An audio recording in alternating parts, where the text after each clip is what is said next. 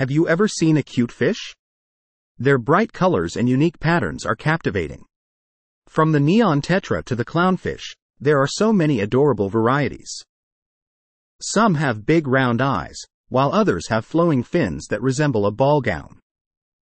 And let's not forget about the pufferfish, who inflate themselves to protect against predators.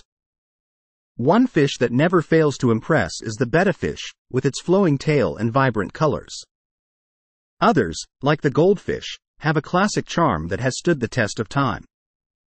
Cuteness isn't just limited to freshwater fish, though, as the mandarin fish in the ocean is a true beauty. Even some of the most intimidating predators, like lionfish and anglerfish, can be cute in their own way. So next time you come across a cute fish, take a moment to appreciate all their beauty and wonder.